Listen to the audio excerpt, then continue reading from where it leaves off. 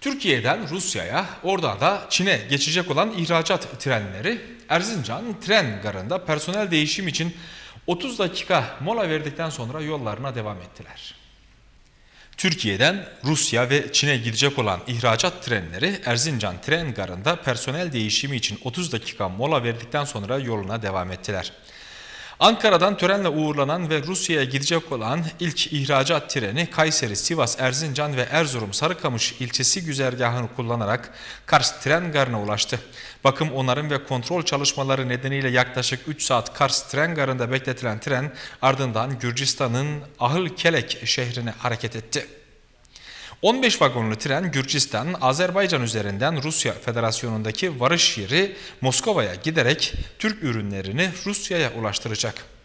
Bakü-Tiflis-Kars hattını kullanarak Rusya Federasyonu'ndaki varış yeri olan Moskova'ya kadar yaklaşık 4650 kilometre yol kat edecek tren, Türkiye'de üretilen 3321 bulaşık makinesi, ocak ve fırın 15 vagona yüklenen 15 konteyner içerisinde Rusya Federasyonu Vladimir bölgesine götürülüyor. Ankara tren garından aynı anda hareket eden ikinci trende ise Eti Maden İşletmeleri Genel Müdürlüğü tarafından Çin'e ihraç edilecek 1000 ton boraks madeni 42 konteyner içerisinde Çin'in Xi'an şehrine nakledilecek.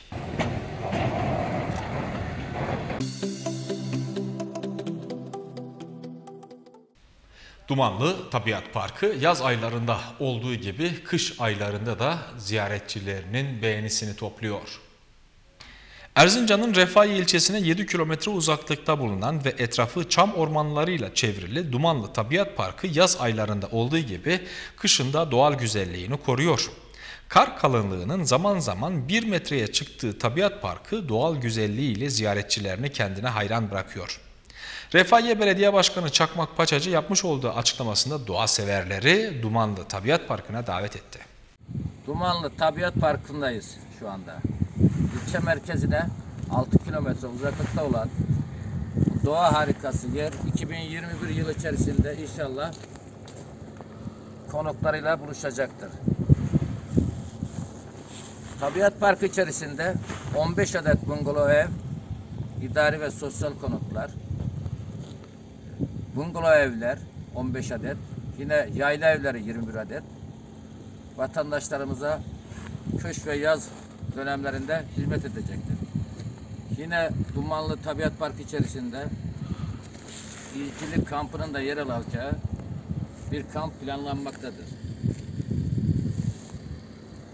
Bizler hep şunu söyledik. Buradan gurbetteki hemşerilerimiz de Dumanlı'ya gerçekten çok önem verirler.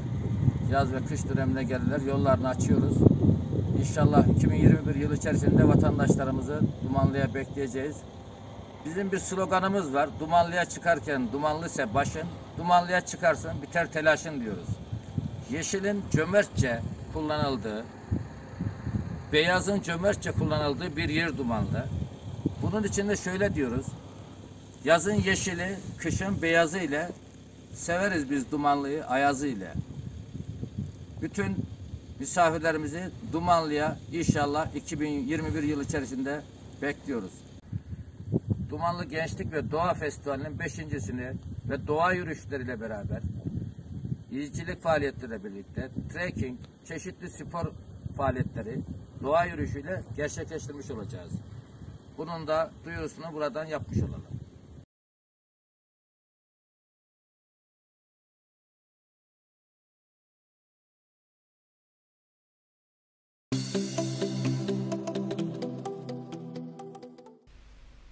Sayın seyirciler karayolları ekipleri içerisinde bulunduğumuz kış ayında yağan kar yağışı ve oluşan tipi nedeniyle ulaşımın aksamaması sürücülerin gidecekleri yerlere daha sağlıklı ve güvende gidebilmeleri için çalışmalarını 7 gün 24 saat boyunca aralıksız sürdürüyorlar. Erzincan'ın yüksek kesimlerinde etkili olan kar ve tipi nedeniyle sürücüler rahat bir yolculuk yapsın diye karayolları ekipleri gece gündüz çalışmalarına aralıksız devam ediyor. Erzincan Gümüşhane Karayolu'ndaki Ahmediye geçidi ve Pöske Dağı'nda yoğun tipi nedeniyle ulaşım güçlükle sağlandı. Seyir halinde olan bazı çekiciler makas atarak karayolunu ulaşıma kapatırken kar yağışı ve tipi nedeniyle kayganlaşan yolda tuzlama ve küreme çalışmaları yapıldı. Erzincan-Sivas karayolundaki Sakaltutan ile Kızıldağ geçidinde kar yağışı ulaşımı olumsuz yönde etkiledi. Olumsuz hava koşulları nedeniyle yolda kalan araçların trafiği engellememesi için karayolları ve polis ekipleri iş makinesi desteğiyle yoğun çalışma yürütüyor. Karayolları ekipleri iş makineleriyle yolları kardan temizleyip tuzlama çalışması yaparak trafiği açık tutmaya çalışıyor.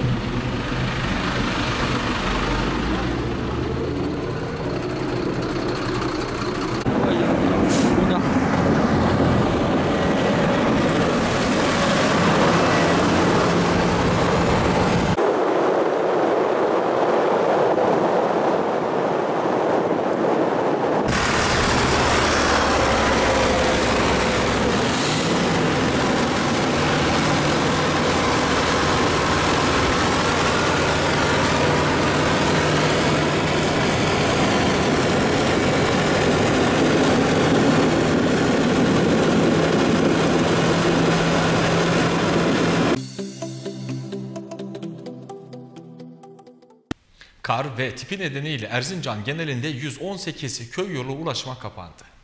Kent genelinde etkili olan kar yağışı ve tipi nedeniyle merkezde 5, Çayırlı ilçesinde 5, İliç ilçesinde 13, Kamah ilçesinde 12, Kemaliye ilçesinde 14, Otlukbedi ilçesinde 2, Refahiye ilçesinde 28, Tercan ilçesinde 35 ve Üzümlü ilçesinde 4 olmak üzere toplam 118 köyün yolu ulaşıma kapandı.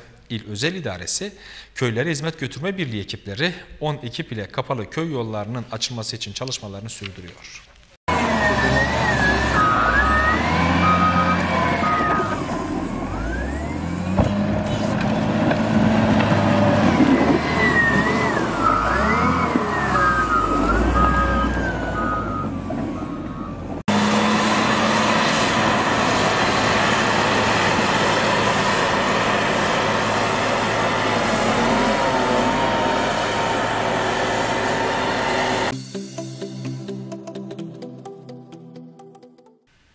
Erzincan Ziraat Odası Başkanlığı tarafından yapılan basın açıklamasında Erzincan'ın 2020 yılı tarım ve hayvancılık konusunda değerlendirmesi yapıldı ve 2021 yılı ile ilgili istekleri dile getirildi. Erzincan Ziraat Odası Başkanı Tamer Geyik, Erzincan'da görev yapan basın mensupları ile bir araya gelerek 2020 yılının değerlendirmesini yaptı. İlimizin tarım ve hayvancılığı ile ilgili birçok konuda 2020 yılını değerlendiren Geyik, 2021 yılı ile ilgili istek ve görüşlerini de dile getirdi. Değerli basın mensupları, 2020 yılı değerlendirme toplantısına hepiniz hoş geldiniz. Değerli basın mensupları, değerli üreticilerimiz, hepinizi en kalbi duygularımla selamlıyorum. Değerli basınımız, 2020 yılında e, 3.6 yağ oranı soğutulmuş çiğ süt prim fiyatı e, 2.30 kuruş olarak belirlenmişti. 2020 yılında da Ocak, Şubat, Mart ve Nisan aylarına soğutulmuş 1 litre çiğ süt taban fiyatı 2 lira 80 kuruş olarak belirlenmişti. Süt üretici, üreticisine yapılan zam oranı geçen yıla göre kıyaslandığında %22'lik bir artışa tekabül etmektedir. Buna mukabil girdi kalemlerindeki artışlara bakıldığında yem fiyatlarında %70, veterinerlik fiyatlarında %70, yem bitkisi sulama ücretinde %65, ve yem bitkisi cazibeli sulamada ise yüzde 40 oranında bir artış meydana gelmiştir. Ayrıca ahırlarda kullanılan elektrikte yüzde 100, işçilik giderlerinde yüzde 20, gübre fiyatlarında ise yüzde 50'nin üzerinde bir artış meydana gelmiştir. Bu tablo karşısında süt fiyatlarına yapılan artış artan girdi maliyetlerinin çok altında kalmıştır. Ayrıca daha önceden 40 kuruş olarak uygulanan süt prim desteği 30 kuruşa indirilmiştir. Ne yazık ki açıklanan bu fiyatlar artan girdi maliyetlerinin çok altında kalmış ve çoğu üreticimiz elindeki süt ineklerini kesime vermek zorunda kalmıştır. Değerli basın mensupları 2019 yılında üretilen e, süt miktarı ilimizde 16 milyon 554 litre 2020 yılında ise 14 milyon 627 bin litreye düşmüştür. Yani 2 milyon litre bir eksilme söz konusudur. Bu da e, şunu gösteriyor ki süt inekleri gerçekten kesime gitmiş. Değerli basınımız, domates üreticimiz ve kuru fasulye üreticimiz de maalesef artan girdi maliyetlerinin altında ezilmiştir. Özellikle Uluköy bölgemizde domates üretimi yapan üreticilerimiz fide ve ilaç masrafını dahi çıkaramamıştır. Nitekim kuru fasulye eken üreticilerimiz de Günbağ, Tatlısu, Konakbaşı bu yerdeki üreticilerimiz de artan girdi maliyetleri karşısında ürünü zarar etmiş, ürettiği ürünü dahi satamamış. Yani üreticiyi satıcıya bulan da ürünü e, değerlendirememiş. İlimizde en çok ekimi yapılan şeker pancarıdır. Türk Şeker tarafından 1 kilogram şekere yüzde 12'lik bir artış ile 300 kuruştan 336 kuruşa yükseltilmiştir. Buna karşılık girdi maliyetleri de yüzde 50'nin üzerinde gerçekleşmiştir. Bu nedenle de özellikle Çayırlı, Mercan ve Altınbaşak kantarlarımızdaki üretim oranları ciddi bir şekilde azalmıştır. Birkaç örnek vermek gerekirse Çayırlı kantarımızda 120 bin ton üretilen şeker pancarı bu yıl 30-35 bin ton arasında gerçekleşmiştir. Yine mercan kantarımız 120 bin ton pancar alırken bu sene 70 bin ton civarında bir pancar alımı yapmış. Altın başak kantarımız da yine aynı şekildedir. Yılda 60 bin ton al, önceden aldığında bu yıl ise e, 30-35 bin ton rakamına kadar gerilemiştir. Değerli basın mensupları, sulama suyu ücretlerine de pompaj bölgesinde yüzde 65 oranında bir zam yapılmıştı. Cazibe bölgesinde ise bu zam yüzde 40 düzeyinde gerçekleşti. Ayrıca Akbulut ve Sol Sahil Sulama Birliği'nin il özel idaresine devri kararlaştırılmıştı.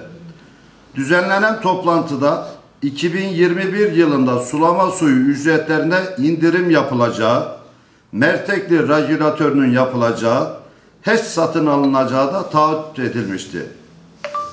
Neticede HES satın alınması işlemi gerçekleşmiştir. Bu konuda başta Başbakanımız Binali Yıldırım olmak üzere bütün ilgililere de teşekkür ediyorum. Ancak 2020 yılında sulama suyu ücretlerinde bir düşüş meydana gelmemiş. Buna mukabil yüzde yirmi oranında zam yapılmıştır. 2021 mi? 21 yılında da zam yapılmıştır. Yani verilen sözler burada tutulmamıştır. Şimdi size bir örnek vereyim değerli basın mensupları. İlimizde üç tane köyümüzün köyümüze bağlı yerlerde Binkoç, Pınarönü ve Gün e, Gölpınar köyünde 170 tane arsa satılmıştır. Burada da yaklaşık 10 milyonun üzerinde il özel idaresine bir gelir elde edilmiştir. Ayrıca devre alınan HES'ten de yaklaşık yılda 6 milyon civarında bir gelir elde edilecektir. Yani HES'in parası şimdiden çıkmıştır. Üreticimize yapılan bu zammı biz manidar buluyoruz. İl Genel Meclisimizden ve meclis üyelerimizden de bu zammın tekrar görüşülerek geri alınmasını talep ediyoruz. Değerli basın mensupları, ayrıca 2020 yılına baktığımızda tarımsal ve hayvansal desteklerde 2021 yılında artırılmamış ve 2020 yılıyla aynı oranda kalmıştır. Artan girdi, bu girdi maliyetler karşısında desteklemelerin artırılmaması üreticilerimizi kendisinin düşünmediğini ortaya koymuştur. Yani Tarım Bakanlığımız üreticisini düşünmüyor.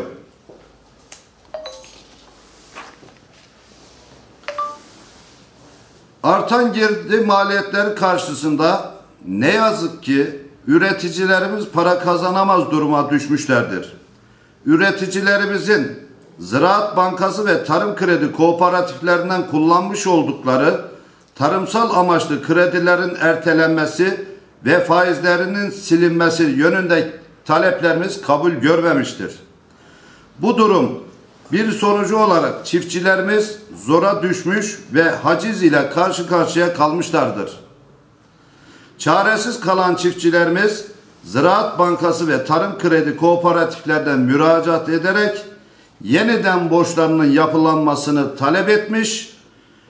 Ziraat Bankası yüzde yirmi faiz oranıyla Tarım Kredi Kooperatifi de yüzde otuz oranında bir yapılanma ile üreticilerimize yapılandırmanın yapılacağını söylemiştir. Şunu belirtmek istiyorum. Bu yapılan bir nevi tefeciliktir. Şimdi bu tablo karşısında soruyorum sizlere değerli basın mensupları. Hangi şartlarda ve nasıl üreteceğiz? İlimizde yönetil, yürütülmekte olan arazi toplulaştırılması çalışmaları içerisinde ne yazık ki sulama sistemleri, drenaj ve tevsiye işlemleri bulunmamaktadır. Sadece tarla etrafındaki tumpların düzelleş, düzleştirilmesiyle yetinilmiştir. Bu durum yetkililere defalarca söylenmesine rağmen uygulamalarda herhangi bir değişikliğe gidilmemiştir. Hali hazırda yapılan uygulamada toprak yapısı ve kod farkı hesap edilerek değerlendirmeye alınmamıştır. Yapılan çalışmada basınçlı sulama sistemlerinin yer almadığı, sulama arklarının beton arklara dönüştürülmediği ve toprak arklarla sulamaya devam edildiği, arazi sahiplerinin tarla alanlarından yüzde beş ila yüzde on arası düşüşlerin olduğu, toplulaştırma çalışmalarının sadece parsellerin birleştirdiği bu işlemin muhit muhit yapıldığı görülmektedir.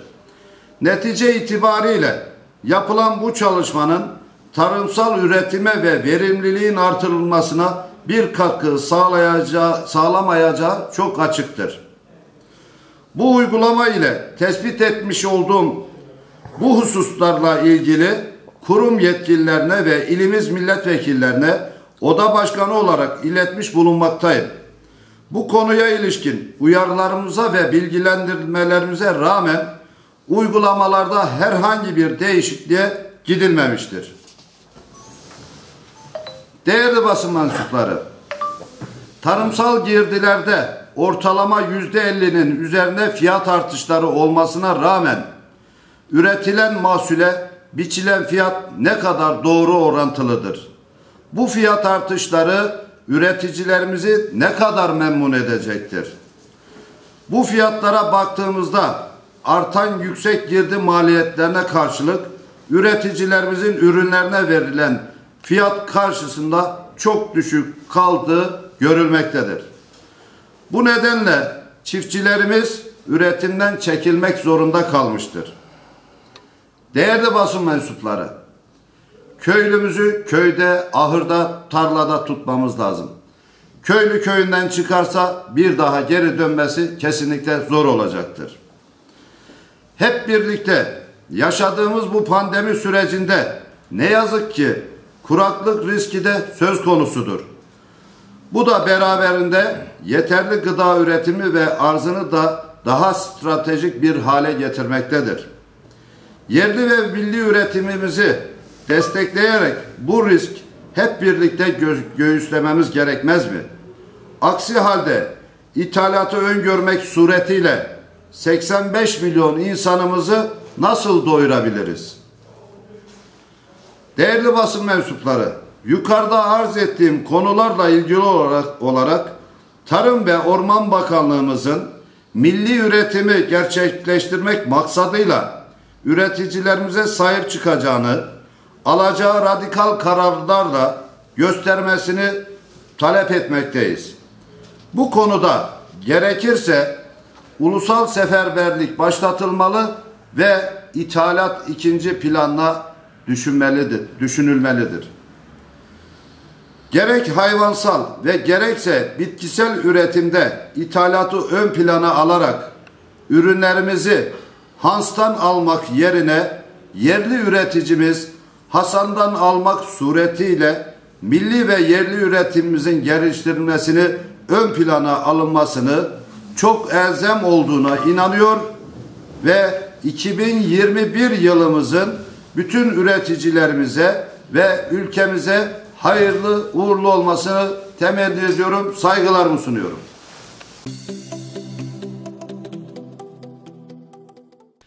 Eğitimsen Erzincan Şubesi Başkanı Hüseyin Taner, Boğaziçi Üniversitesi'nde yaşananlarla ilgili olarak basın açıklaması yaptı. Eğitimsen Erzincan Şubesi Başkanı Hüseyin Taner, sendika binasında yaptığı basın açıklamasında Boğaziçi Üniversitesi öğrencisiyle, akademisyeniyle, idari ve teknik personeliyle siyasal tarihimizin sayfalarından silinmeyecek bir duruş sergiliyor dedi. Değerli basın emekçileri, sevgili eğitim emekçileri, hepiniz hoş geldiniz. Bilindiği üzere birkaç gündür kamuoyunu meşgul eden e, İstanbul Boğaziçi Üniversitesi'ndeki olaylar son e, dün itibariyle hiç hoş olmayan bir durum arz ediyor. Bu yüzden de e, bugün Eğitim ve Bilim Emekçileri Sendikası tüm Türkiye'de bunu kınamak için basın açıklamaları düzenliyor. E, tekrardan hoş geldiniz. Kumpasçıların, haksızlıkların, tehditlerin, nefret söylemlerinin karşısında diz çökmeyen gençlerimizin yanındayız. Boğaziçi Üniversitesi öğrencisiyle, akademisyeniyle, idari ve teknik personeliyle siyasal tarihimizin sayfalarından silinmeyecek bir duruş sergiliyor. Rektörlerin atanarak değil, seçimle gelmesini savunan, yöneticilerinde intihali, itaati, yalanı değil, liyakatı görmek isteyen, tek tipçi, baskıcı, kontrolcü bir öğrenme ortamı yerine eşitlikçi, özgürlükçü, demokratik bir öğrenme iklimini talep eden, üniversiteli gençler sabırla ve sevatla demokratik tepkilerini gösteriyor, taleplerini dile getiriyorlar. Her rengi eşit gören, rengarenk enerjileriyle özgürlüklerini savunan gençler korku dağının zirvesine taht kuranların karşısında diz çökmüyorlar. Yeni rejimin sahipleri ise YÖK, medya ve polis eliyle demokrasi isteyen gençlere kumpas kurmaya, onları gözaltına almaya ve tutuklamaya devam ediyor. Belirtmek isteriz ki asıl sorun kamuoyuna sunulduğu gibi kutsala yapılan bir saygısızlık değildir. Asıl sorun düşünce ve ifade özgürlüğünü sadece kendileri için bir özgürlük sanan siyasi iktidar temsilcilerinin demokrasiden, demokratik tartışma kültüründen ve üniversite fikrinden bir haber olmalarıdır. Ancak ortada bir suç vardır. Bu suç LGBTİ artı bireylerin temel hak ve özgürlüklerini yok sayan ve yaşam haklarını tehdit edenlerin laikliği ortadan kaldırarak İslam dininin değerlerini her türlü siyasal, ekonomik ve kültürel zulme ortak edenlerin, üniversiteli gençlerin demokratik taleplerini şiddetle bastıranların ve anayasal güvence altında olan üniversitelerin kamusal özelliğini ortadan kaldıranların suçudur. Eğitim sen olarak demokratik tepkileri ve talepleri nedeniyle tutuklanan, gözaltına alınan Boğaziçi Üniversitesi öğrencilerinin 9 Eylül Üniversitesi'nden dayanışma mesajı vermek isterken gözaltına alınan tüm gençlerin acil olarak serbest bırakılmasını istiyoruz. Emekten, demokrasiden ve barıştan yana herkesi gençlerimize, akademisyenlere ve üniversitelere sahip çıkmaya davet ediyoruz. Rektörlerin üniversite bileşenlerinin iradesiyle seçilmesini engelleyen düzenlemenin değiştirilmesi için Türkiye Büyük Millet Meclisi'nde grubu olan bütün siyasi partileri sorumluluğa davet ediyoruz. Erzincan Eğitim Sen Yürütme Kurulu adına herkese teşekkür ediyorum.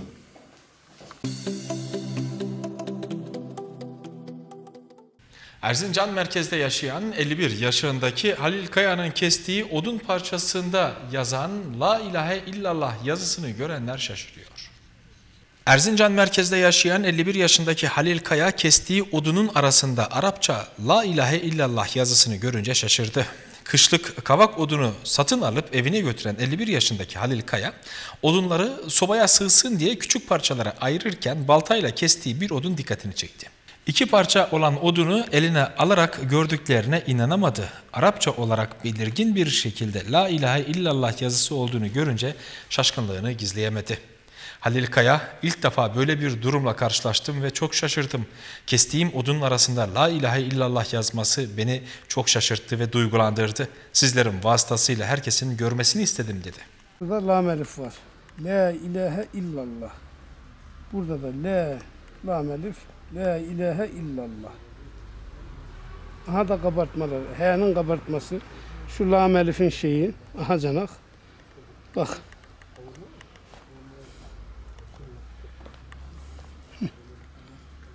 Yaradan her şeye kadir. Ben Halil Kaya, 1970 doğumluyum. 2002'de rahmetli Şemsettin Hoca'ya talebe oldum. Ee, ona epey bir talebelik yaptım. Geldim, evime odun aldım. Odun aldım evime. Odunu kırdım. Rahmetli Hoca Efendi'ye talep olduğumuz için e, Kur'an ilgisi ilgimizi çekiyor. Nerede olsa ilgimizi çekiyor. Odunu al kırdım. Baktım ki odunun içinde Kur'an yazısı yazıyor. Akşam bir parçasını götürdüm. Sabahtan aradım. Dedim ki bunun muhakkak ki bir parçası vardır ki bu böyleydi. Evet sabahtan da geldiğimde bir parçasını buldum. Bunlar birbirine yapışıyordu. Yani bunlara ben hiçbir müdahale, hiçbir şey yapmadım. Sadece baltayla vurup şöyle kırdım. Kırdım ki La ilahe illallah yazıyor. Buyur. Aha H'si. Aha da buradan H'si. Vallahi ben e, arıda da gördüm, peteğin üstünde Allah gördüm, e, koyunun üzerinde de gördüm ama odunda da ilk defa gördüm. Yani hayret içindeyim, gerçekten hayret içindeyim. İnsanlar, ben de bunu bir feyiz alsın diye gösteririm insanlara. Odun satıcısı Çavuş Ateş ise ben de ilk defa böyle bir şey gördüm çok şaşırdım. Allah'ın mucizeleri saymakla bitmez diye konuştu. Ağaç kesiyorum ben. Evet. Bu arkadaş da bizden odun almış yakacak için. Odunu götürüyor, yarıyor. Bir parçasını buluyor. Diyor ki bunun bir parçası daha vardır. Gelip sonuçta onu da arayıp buluyor. İlim irfan sahiplerine gidiyor, oku diyor. Öğreniyor ki bunda La ilahe illallah yazıyor. Bunu gündeme getiriyor. Siz e, yıllardır bu işte çalışıyorsunuz. Böyle bir şeyle karşılaştınız mı? Yok. Daha yeni karşılaşıyoruz. Hayretler içinde kaldık. Subhanallah maşallah böyle bir şeyle karşılaştık. Cenab-ı Allah tekrarını nasip etsin. Burada lam elif var. La ilahe illallah. Burada da la lam elif la ilahe illallah.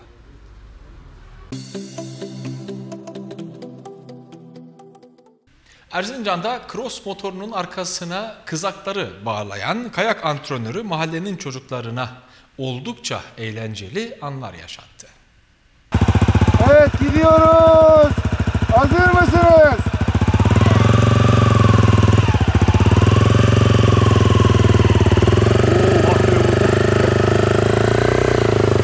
Erzincan'da cross motorunun arkasına Kızakları bağlayan kayak antrenörü mahallenin çocuklarına eğlenceli zamanlar geçirtti. Kayak antrenörlüğü yapan Cansel Atilla pandemi dolayısıyla evlerinde sıkılan çocukları eğlendirmek için farklı bir yol buldu. Cross motorunun arkasına bağladığı 7 adet kızak ile mahallede bulunan boş bir arazide mahallenin çocuklarını eğlendiren kayak hocasının yaptığı etkinlik mahalleli çocukları oldukça sevindirdi.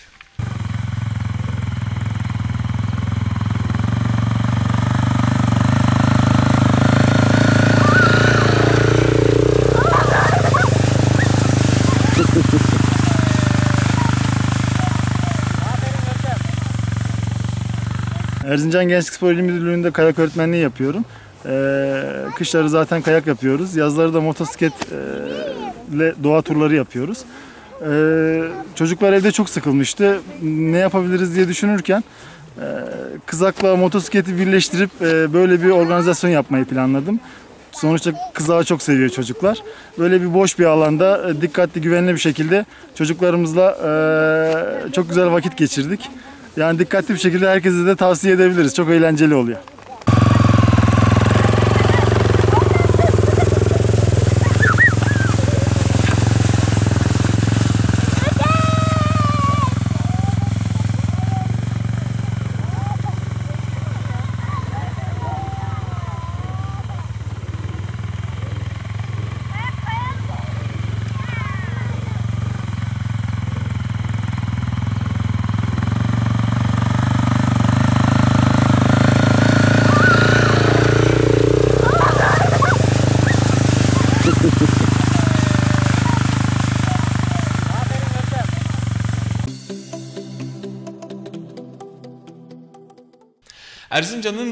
İlçesinde yolunu kaybederek kırsalda donma tehlikesi geçiren vatandaşı jandarma ekipleri kurtardı.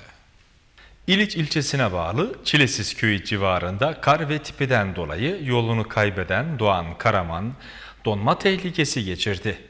Yakınlarının haber vermesi üzerine jandarma ekipleri arama çalışması başlatarak Karaman'a kırsal alanda ulaştı. Donma tehlikesi geçiren vatandaş hastaneye sevk edildi. Hastanedeki tedavisinin ardından taburcu edildi.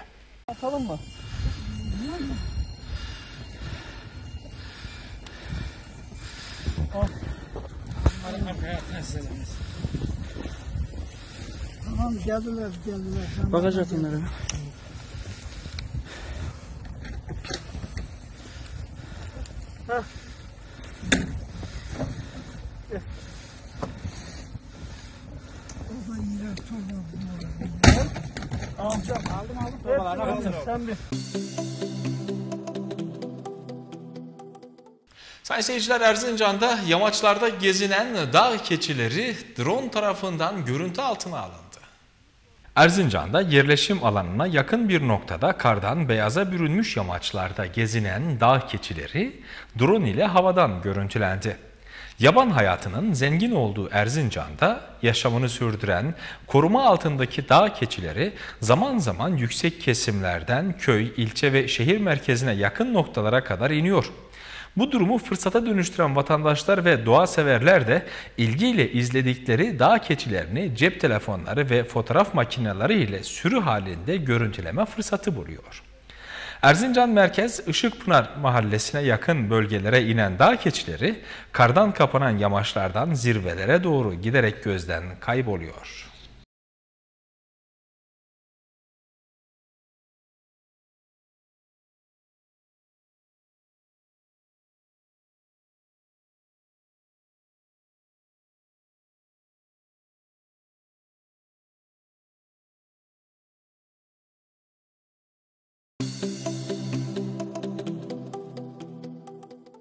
Erzincan'da meydana gelen trafik kazasında bir kişi yaralandı.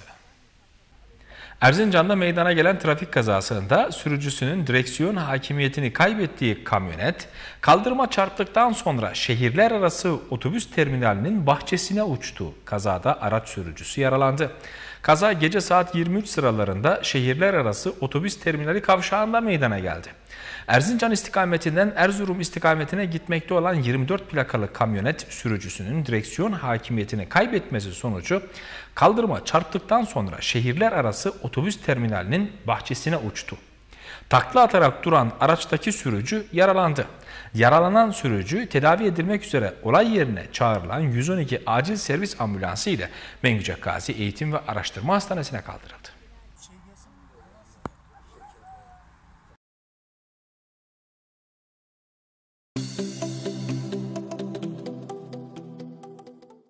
Sayın seyirciler Erzincan'da jeotermal ısı pompası ile ısıtılan serada fide dikimi yapıldı. Erzincan'ın Üzümlü ilçesi Denizdamı köyünde kurulan seralarda düzenlenen törenle fideler toprakla buluştu. Jeotermal ısı pompası ile ısıtılan serada fide dikimi başladı. Gerçekleştirilen programa Erzincan Vali Yardımcı Vekili Enver Yılmaz, Erzincan İl Tarım ve Orman Müdürü Murat Şahin, Erzincan Ziraat Odası Başkanı Tamer Geyik, Ador Enerji Yetkilisi Orhan Veli Ağbaba, sera sahibi Selim Toklu ve köylüler katıldı. Enerji yetkilisi Orhan Veli Ağbaba uygulama hakkında bilgiler verdi. yenilebilir enerji sistemlerinde bugün burada yeni bir sistemi sizlerle paylaşmak istiyoruz. Bunun ülkemize hızlı gelişmekte olan yenilebilir enerji sistemlerinin bir kolu olarak bunun dünya ve ülkemize ne kadar faydalı olabileceğini ispatlamak için bu yola girişim yapmıştır. Alenoko ısı pompaları doğal kaynaklardan beslenerek mevcut olan ihtiyacımız ısı ihtiyaçlarımızın her türlüsüne cevap vermektedir. Bu sera, konut, okul aklınıza gelebilecek ihtiyaç duyduğunuz ısı ile ilgili ısınma, sıcak su veya farklı ihtiyaçlarınıza aynı anda soğutmaya da cevap verebilen bir sistem. Erzincan Ziraat Odası Başkanı Tamer Geyik ise konuşmasında ülkemiz bir küresel ısınmaya doğru gidiyor diye konuştu. Erzincan İl Tarım ve Orman Müdürü Murat Şahin ise Erzincan'da seracılığın her geçen gün geliştiğini söyledi. Erzincan Vali Yardımcı Vekili Enver Yılmaz ise açıklamasında burada yenilenebilir enerji kaynakları üzerine kurulmuş bir seramızı inşallah hep birlikte açacağız diye konuştu. Yapılan konuşmaların ardından davetliler şirket yetkililerinden uygulanan sistem hakkında bilgiler alarak fide dikimi gerçekleştirdiler.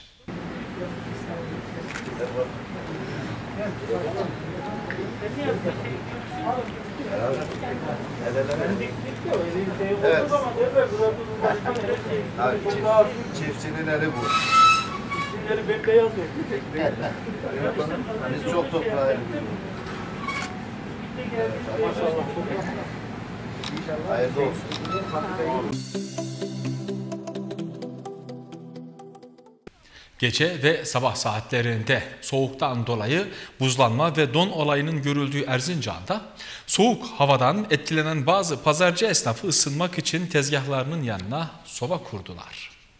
Pandemiden dolayı yapılan kısıtlamalar nedeniyle Erzincan'ın en büyük semt pazarlarından biri olan Cumartesi pazarı Cuma günleri kuruluyor. Pazarcı esnafı halen vatandaşların birçoğunun Cumartesi kurulan pazarın pandemiden dolayı Cuma günü kurulduğunu bilmediğinden yakınarak işlerinin düşük olduğunu söylediler.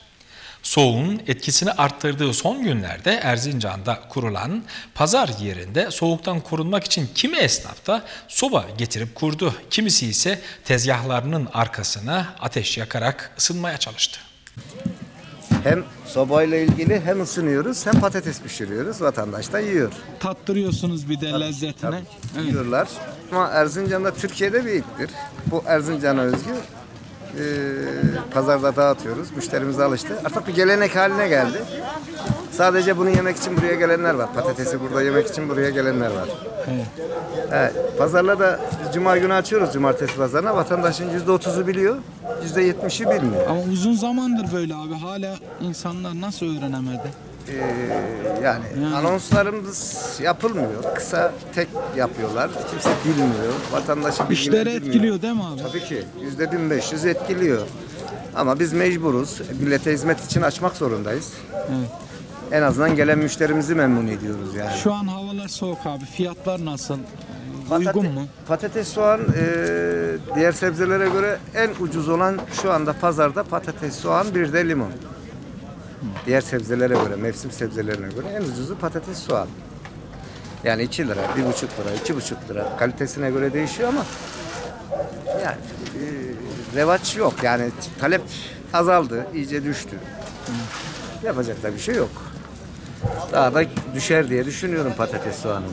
Pandemi sizi ne kadar etkiledi abi? Türkiye'de herkes etkiledi. Yani Bizi gıda daha çok- ürünü olduğu için soruyorum. Bizi daha çok etkiledi. Yani vatandaş pazara geliyor. Gelmiyor, kapalı alanlara gidiyor. Halbuki kapalı alanlar daha tehlikeli. Ama o tehlikeyi o tehlikenin farkında değiller. Yani pazara gelmeleri onların için bir avantaj. Çünkü açık hava en azından e, temas bile olsa kapalı alan değil. Açık havada alışveriş daha sağlıklı bana göre. Kapalı alandansa pazarı tercih etmelerini bekliyoruz ama vatandaş talep göstermediği gibi biz de çeşit getiremiyoruz. Pazarı canlandıramıyoruz. Vatandaşın talebiyle arz talep meselesi yani. Vatandaş arz edecek ki biz de talep edecek ki biz de arz edelim onlara sevgiye e, gelmeyince ölçülü alıyorsun. Haliyle işler düşük oluyor. Ama vatandaş talep gösterse biz tezgahlarımızı daha canlandırırız, daha neşelendiririz, daha düzene gireriz. Ama vatandaş gelmediği gibi işte böyle gargar tulumba oluyor. Yapacak bir şey yok.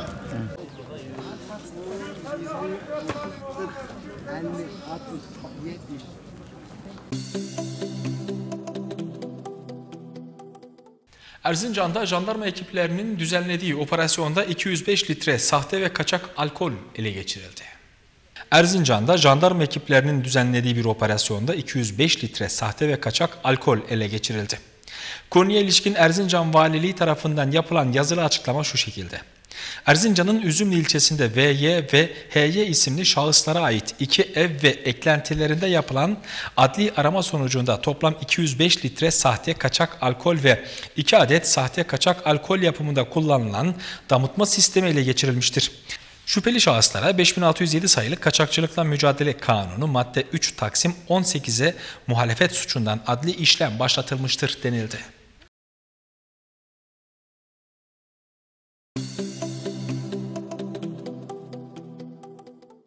Erzincan'da dağdan kopup seyir halindeki otomobilin camından içeriye düşen kaya parçası sürücünün yaralanmasına neden oldu. Erzincan Kemah Karayolu Cebesoy mevkiinde meydana gelen olayda yol kenarındaki yamaçtan koparak yuvarlanan kaya parçası 34 plakalı otomobilin ön camını kırarak içeri girdi. Ön koltukta otururken başına taş isabet eden Kemah Gülbahçe Köyü muhtarı Doğu Karaboğa yaralandı. Hayati tehlikesi bulunmayan Karaboğa ambulansla Mengücek Gazi Eğitim ve Araştırma Hastanesi'ne kaldırılarak tedavi altına alındı. Yakından çekebilirsin.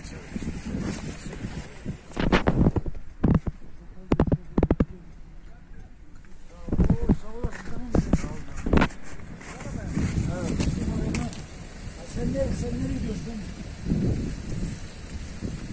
Hadi araştırma bir de gelir misin? Araştırma.